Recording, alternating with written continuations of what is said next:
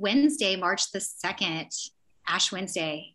And it is um, finally a green day in the market. And I think that really has to do with some of the stuff with the Fed related to uh, these Senate hearings. They're actually going okay. And it's really fascinating. I'm still watching it, and we still have, right now, he's before the House. Tomorrow, he'll be before the Senate.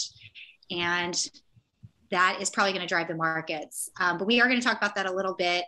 Um, let me share my screen and let's do our typical format of just looking through things a bit. FinViz, if you ever want to sponsor me, I'd be thrilled because I do love your visuals. um, Okay, so this is FinViz's visual of the market. We can see almost every area is green. Energy, occasionally that gets clobbered. I am bull energy. And quite frankly, we have gone through the macro over and over again. I apologize if I sound like a broken record, but I truly, truly, truly do believe that you should have some exposure to commodities right now. And you can do it through the equities because the market has been so much so brutalizing um, the um, here. I'm gonna go back to my regular camera if it's doing some kind of weird disconnect. So maybe that'll actually help a little bit. Um, but the market has been absolutely, absolutely brutalizing these poor commodity, um, these com poor commodity guys. And so um, what um, hopefully will transpire is that that will, the equities will finally um, become something that we can start to see match um, what is actually happening in the marketplace. Okay, hold on. Do the share again so you guys can still see things.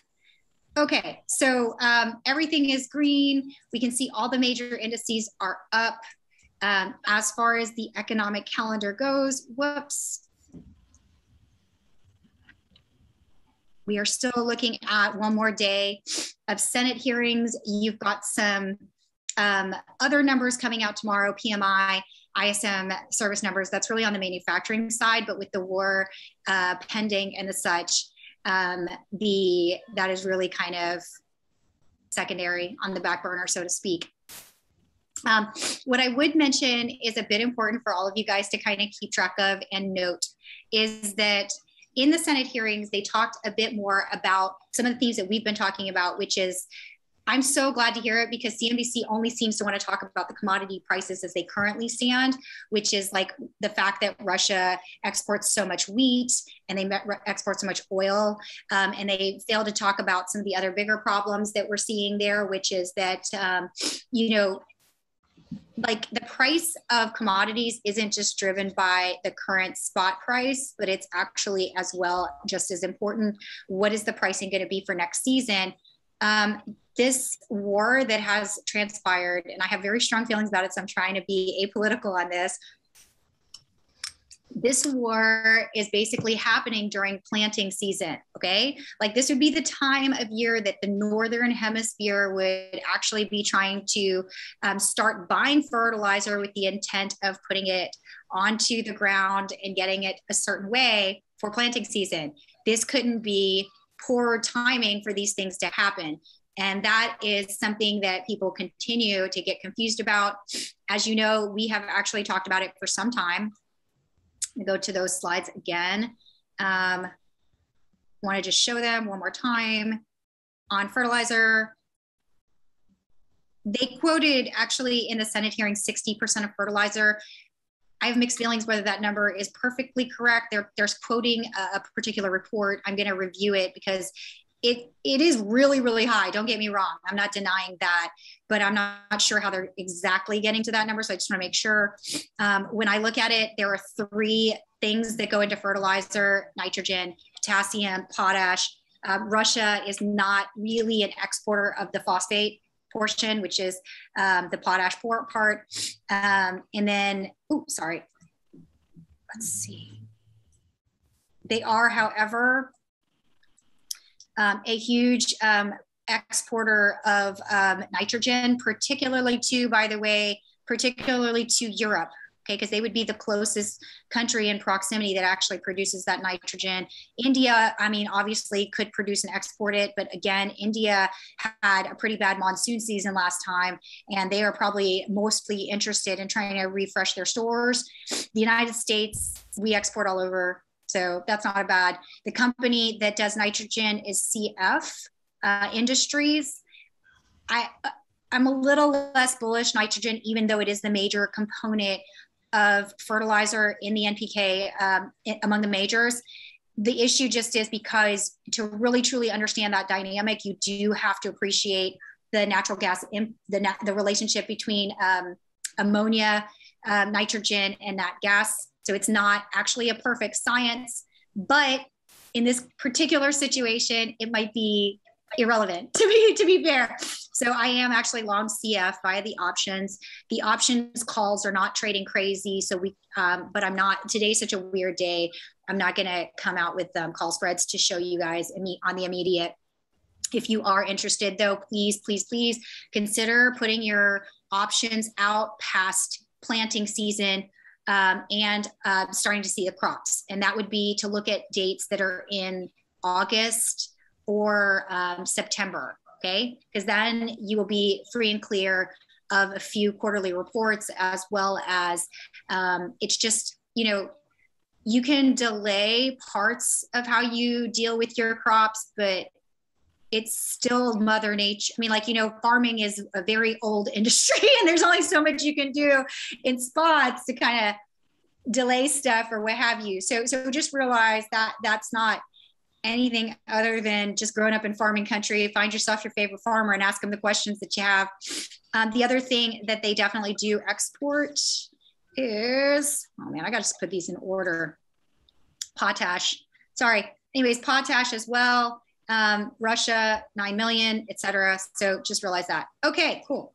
Um, that is, uh, you'll notice too, it's very interesting when you see these uh, when you see the the tariffs or the sanctions or what have you that are being put on Russia, the two areas where there really aren't sanctions is natural res- it is pretty much all of natural resources not really two areas it's everything from this fertilizer to metals that they produce and really are in such shortage that all we do is be kicking ourselves in the face and also um, oil and the such and um, there, I just want to remind you guys um, because I think this image is very telling, but at the same time, I do think sometimes it's a little bit hard to take in everything we're saying all at once.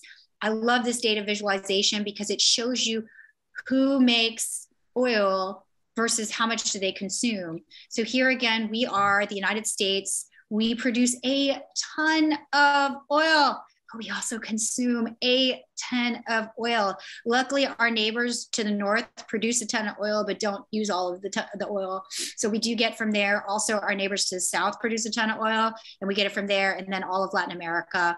Um, this is actually very important for any person that is a student of history to really understand, especially if they're going to start talking about war, because again, just to share with you if you're a political science major or anything like that you're going to talk about logistics and you're going to talk about where are the natural resources as relates to energy so you can fuel your military and then where's the food okay? So these so if you're hearing commentary that doesn't seem to acknowledge either of those things as an issue that's where i would just be very careful um, when you're listening.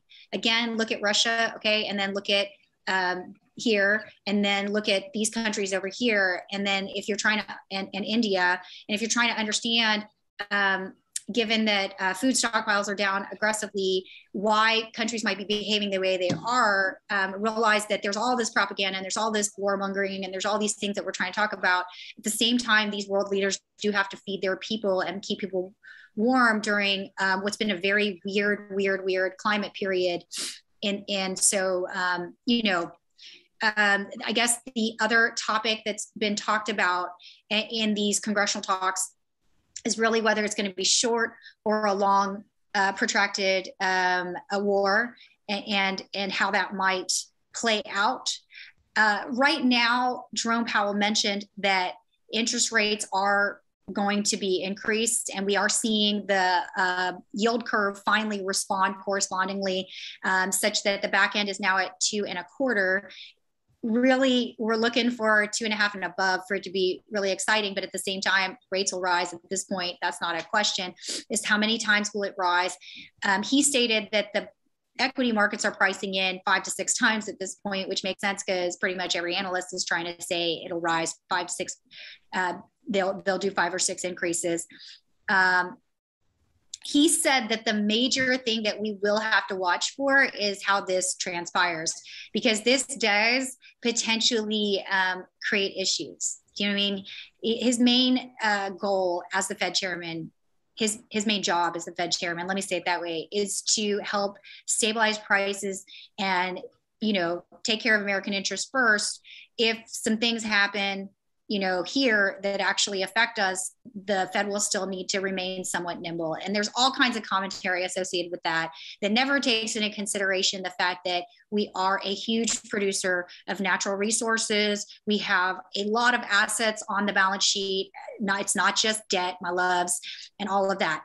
Now um, a couple of things that i did want to talk about if you're like what is probably the best um, or a reasonable play or one that I should consider sooner than later. It was very interesting to me um, um, what folks were talking about as relates to timing on this this situation that we've got going on in Europe. And I will remind you guys that I believe that this idea of what it means to be a reserve currency is still um, going to be talked about. It's it's something that is still coming out it is primarily, um, I think that World Changing Order, which is a book by Ray Dalio, a man that I absolutely, absolutely respect, spins this reserve currency in a particular way that I don't necessarily agree with. Um, he, his spin on it is that debt will necessarily um, decrease America's position as the reserve currency. He is effing brilliant, but I am shocked given that I know he knows better that he's not also discussing you know the other side the asset portion of the balance sheet which is a real thing especially if you're going to war because metals matter you know steel production matters mining matters um, energy matters all that stuff actually matters okay? And and the the inflationary or the effect on the on the world commodity prices of all that and what it actually could do for america also matters. Food supply matters and we are a net exporter of food for the most part so all that's and we definitely are able to export uh, fertilizer overseas to help with some of these demands um, anyways I, am not sure why the book only wants to give that one side because I know that man is effing brilliant. Um, but that is the story they're telling. The other story that they're not telling that is a little bit troubling to me is they act like the euro as 20% isn't at risk as a reserve currency.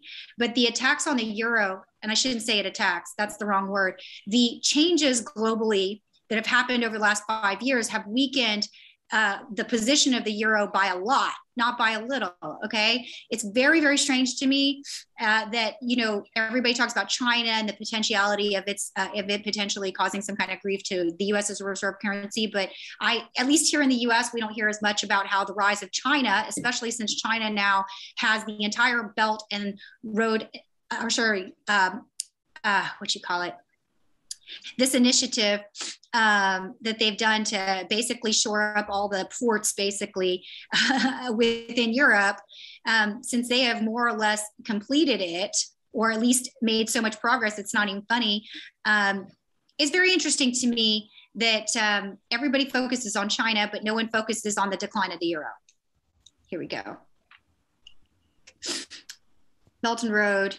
Um, they these ports give them specialty um, tariff special all kinds of special things let me say it that way and to bring um, goods from china over to europe we don't have this so let's just call it what it is. Um, so so there's that. And the reason that matters um, and the reason I care about that is the the impact is really a very big net positive to BITO Bitcoin. Um, now, some of some folks are already talking about the idea that these sanctions on um, on Russia, you know, um, is it being transaction? But I, I, feel like all of the commentary is very um, short-sighted i don't know another way to say it because everybody's focusing on oh this uh, crypto is a horrible horrendous thing none of them are really focused on the fact that the ukrainian citizens coming out don't have access to their capital and we can pretend all we want but um, you know, I don't think they're getting their money out of Ukrainian bank. I'm just going to tell you what it is. I've told all of my friends to take as much money as they can out of the ATM just for safety. Um, if they're if their only banking uh, options are Ukrainian banks because they're they're fleeing, and to put it into literally any um, other bank that will that is a, that is allowing them to open an account. Um, Revolut is probably one, but I don't cover it. It is a bank um, that does uh, that the Nomad community, which I belong to, um, does in fact use. But, um, you know, I think what it really, really suggests to any country or group of individuals that um, it really suggests that you if you're if you're a reserve currency and there's some kind of issue going on you probably want to use um, crypto as much as anything else from it and and the desire of individuals to use crypto is as much as anything else a real consideration for any country that is not one of these reserve currencies to go and and reserve that currency on their balance sheet okay? I'm talking about if you're an asian country if you're an african country if you are a south american or central american country it's a real thing. Additionally um, given what's happening in europe if you have this as a reserve currency and you're looking at a country that has limited to no ability to put to put on and solve their energy issues right now but they've already you know we've got this conflict going on let me say it that way and also this these are all countries in europe that do not produce their own food supply and you're holding euro as a reserve currency i think you're starting to look for other potential currencies to hold as your reserve currency right? Um, okay, and so that brings me back to BITO. Look, I would, if you're just a small time investor, you don't want to be watching these options. They freak you out. Options freak you out. If I've, I've said for many, many episodes, BITO is a great uh, ETF.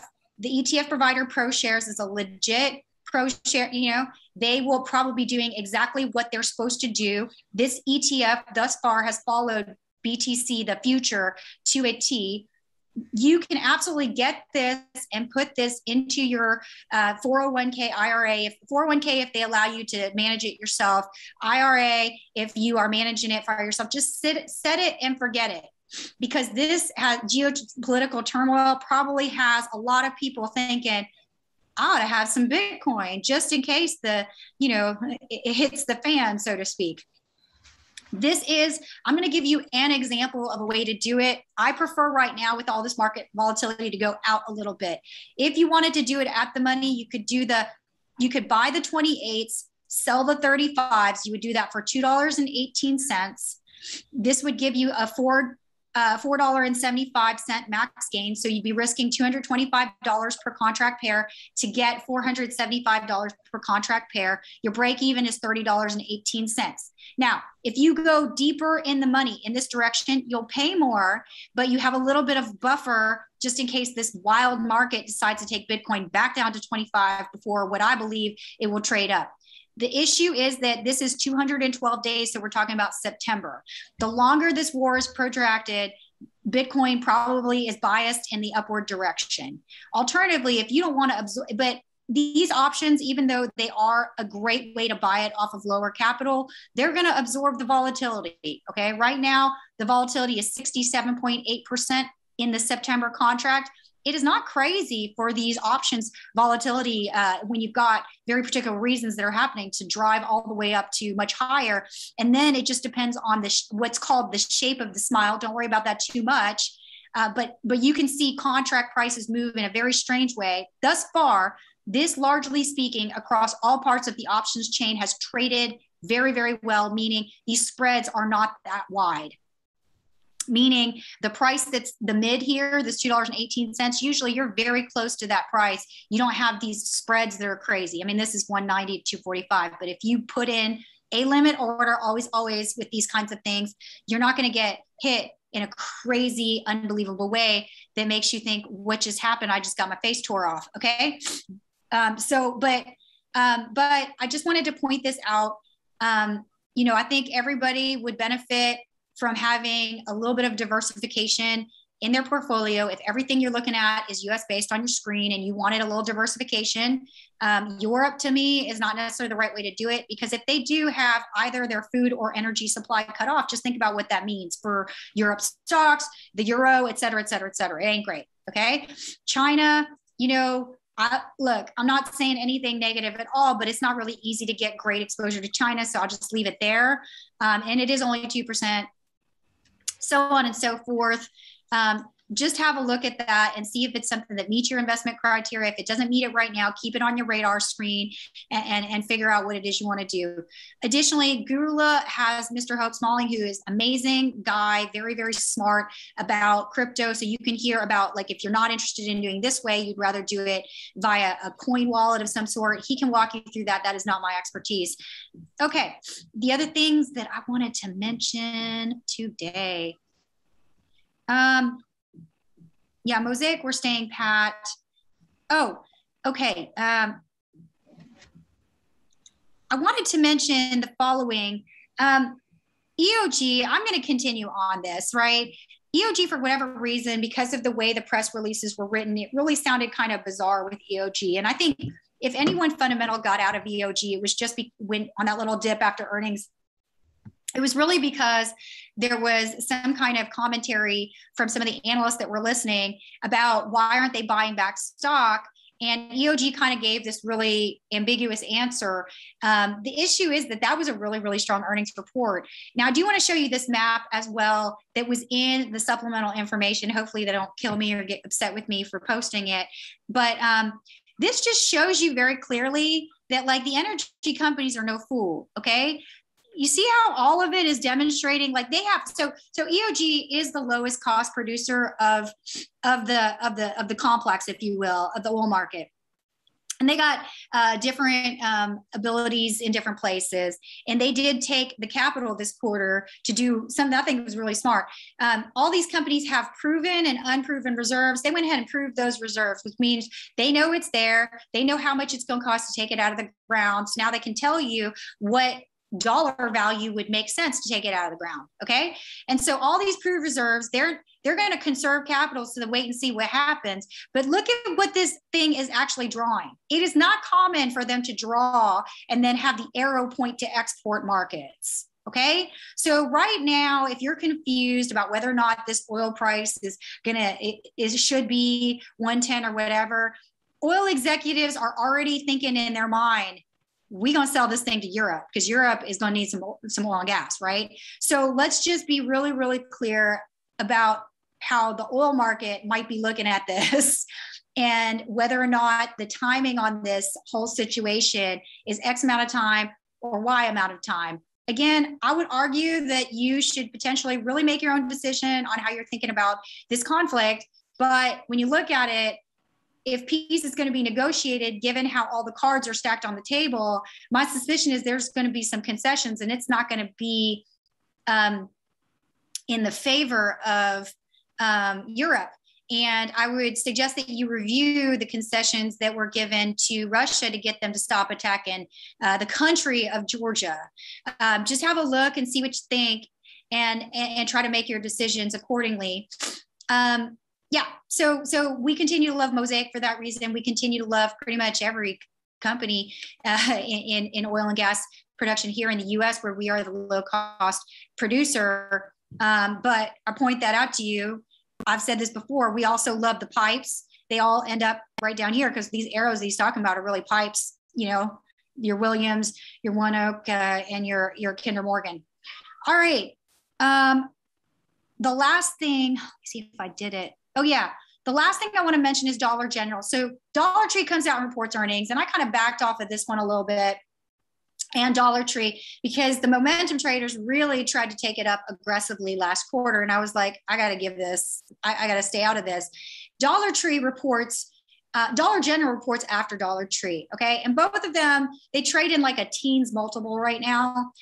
And I was really shocked when everybody traded them up because I was like, y'all understand, like these companies they can only raise their prices so much. So now Dollar Tree's at a buck and a quarter. I don't know if people think Dollar General's going to somehow be at a buck and a quarter, but just so you know, Dollar Tree did sell more things because people are broke. They're looking for ways to save money in this environment, even though everybody's saying that everybody saved more money or what have you. But with inflation, if you're certain, if you're certain type of folk, you're still trying to find cost savings on the off chance that stuff doesn't go the way that you'd like it to go in life.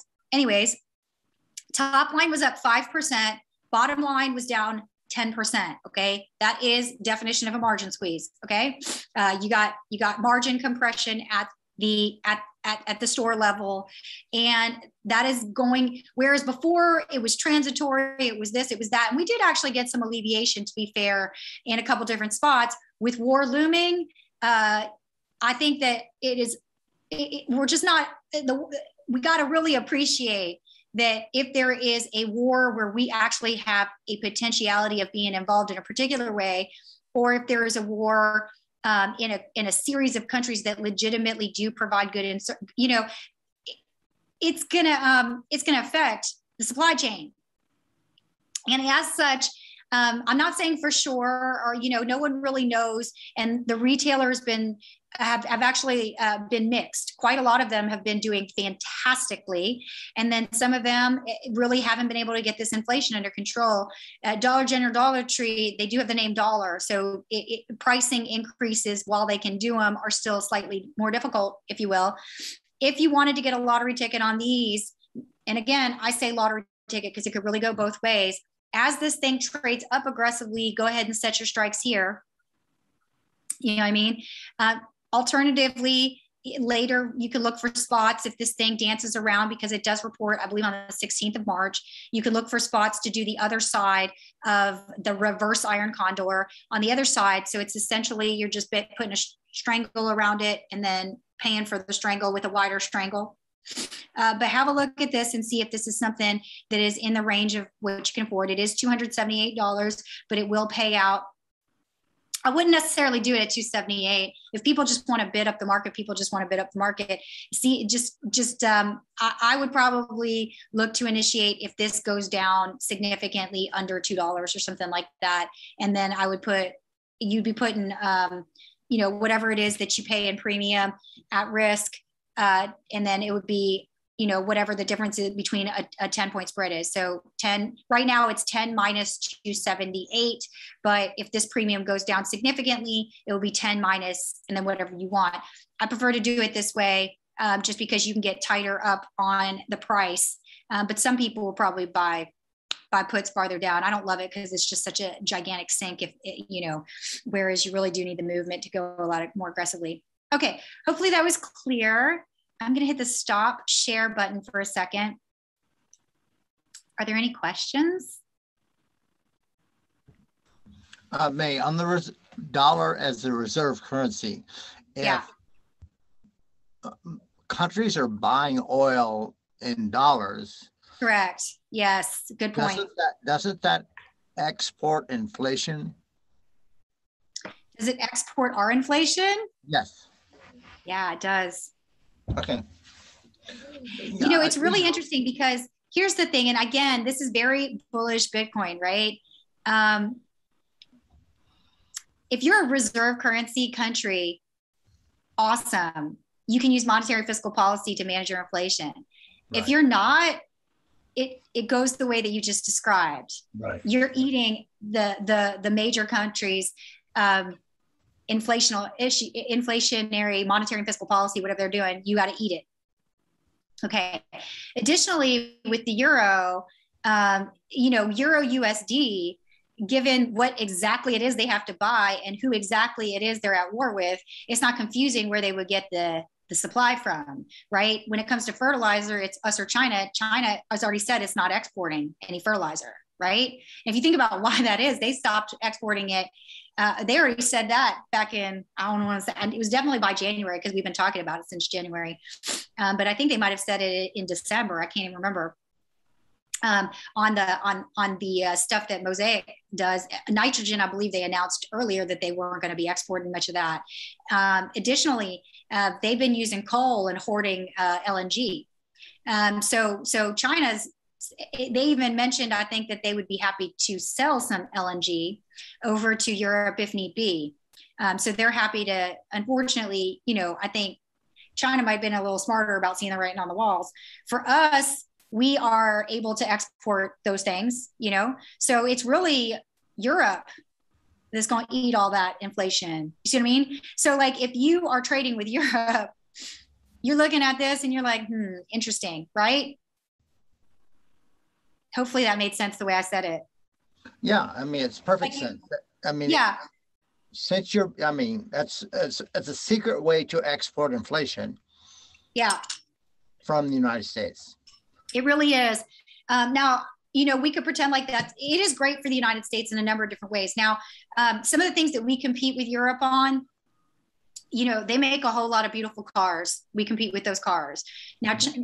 Asia makes a beautiful car set of cars too that we also compete with. But just realize um, we're probably not going to be competing with those cars if there's an energy shortage in Europe because they sure they sure won't be able to make them cheaper than we will. you know I'm saying?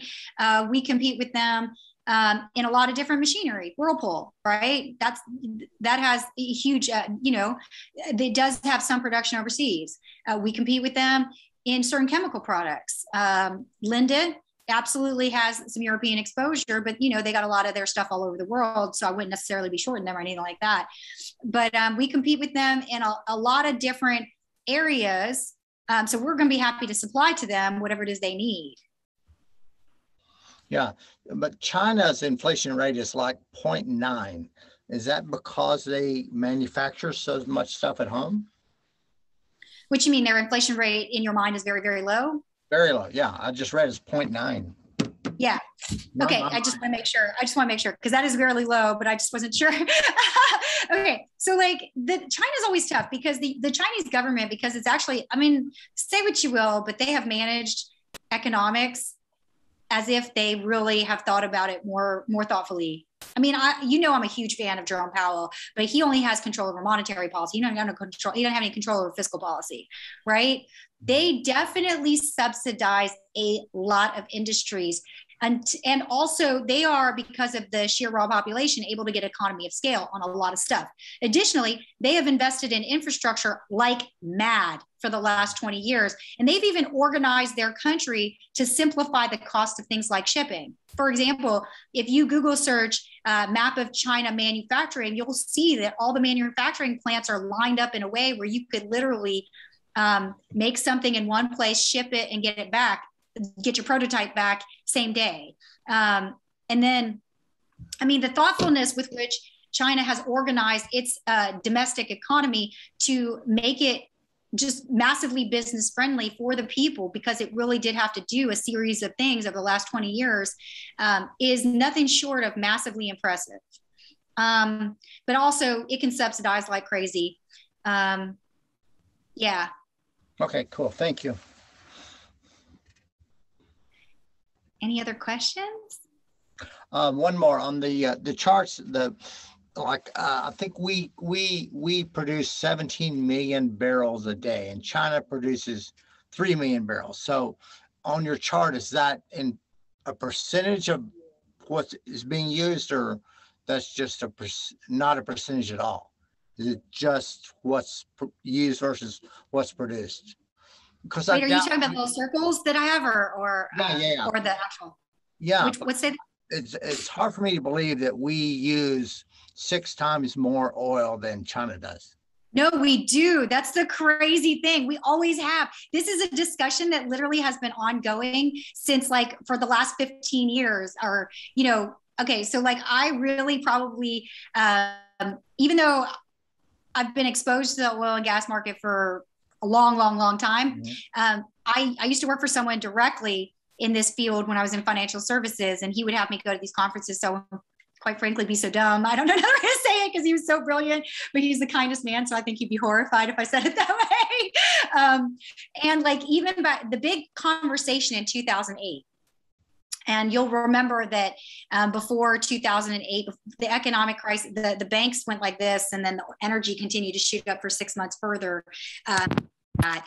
And, but the big conversation that was happening thing, the thing that was actually driving the energy markets upward was the resilience of certain emerging market con- countries that were not having the mortgage crisis. Mortgage crisis started in the United States, but uh, other countries continued to need our natural resources until such a time as we turned it into a massive global contagion. So that's that's a different telling, I guess, of 2008, but it's not inaccurate. It's there's more than one way to tell the story um, of 2008 for the global economy. Anyway, um, at that time, even at that time, China was was uh, consuming a fraction of what it was consuming right now, and and at that time, there were a few different reserves in the United States we had not truly proven out in any kind of meaningful way. And production has gotten, the innovation in production has just exploded subsequent to that. Uh, but it has always been the case that US consumption of, of fossil fuels is tremendous. And that really has to do with the fact that um, you know, we don't use nuclear in any kind of meaningful way. China does, right? China's been trying to solve this energy problem for 20 plus years. You know, even in 1998 when I was studying it um, when in, in, in university. Well, I just gave my age away, but whatever. Like, but anyways, it's fine. It's fine. Asian girls we don't really age, so whatever. But like, uh, even in in the university system at that time, we had to learn about energy because China didn't have any, and it was trying to modernize as rapidly as possible. And given its massive population, there were massive concerns, you know, even before 2000 on what that meant for the world. Um, now, if you look at China and you realize how many uh, like if you if you have a look at any of their mega cities and then you compare it even to New York City, it's not confusion to you that they're using a massive amount of energy, but somehow still it is less than the United States of America as, as relates to oil and gas. Okay, and it, it and you know kind of is what it is. Look, if they could use as much, if, if they could use as much as um, we we do, they'd be thrilled because they do have five times. They, the I think it's five to still five times the population. Maybe it's four and change. I don't know, three and change, something like that. But they have a much bigger population than we have. So technically, on a per capita basis, they're using less. Okay, cool. Yeah, that's important. Yeah. How are you thinking about it? That's a great question, but how are you thinking about it, David?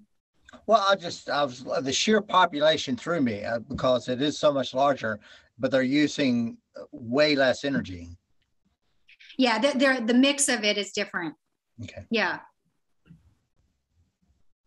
I mean, you know, this whole energy situation is a tough one. I want the world to get off of fossil fuels is definitely a hard stop on that not even a question. I would like to see us get off of it in a way that doesn't traumatize everyone that you know is on is is in a developed world you know? We've talked about the fact that the back end of the curve is pricing in a significantly lower energy price. That's come up a lot especially given this war. Um, now hopefully that uh, invigorates increased production I don't know, I should have put this headline in there, but there was a project in the Gulf of Mexico that just got denied, I think sometime this week. Like it either got denied yesterday or got denied over the weekend or Friday um, to produce more oil in the Gulf of Mexico. This administration is really aggressive on this energy. And meanwhile, uh, inflation continues.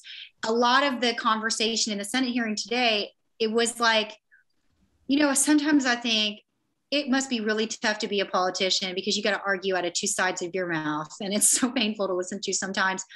But the one thing that while the republican leaders of texas kept screaming at poor jerome powell about inflation all he could really say as sweetly as he could was it would be wonderful if you could help us to produce more oil. Like you know since that's like a fairly large component of the economy you know because they'd be like it, you know yeah. I get it. They need the sound bite so that they can go back to their constituents, you know, and and, and you know, and, and he can't do anything. He, he's supposed to be neutral, party neutral. So he can't say anything about the energy policy. He can't agree or disagree. And he's got to sit there and take it like a champ. It's a real wonderful learning lesson about um, how to remain dignified when people are screaming at you, you know, so to, so to speak.